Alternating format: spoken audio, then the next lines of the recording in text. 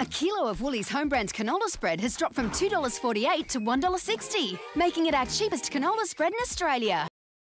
Wow, that's cheap. And staying cheap. A whole tub for tastier toast, now just $1.60 every day.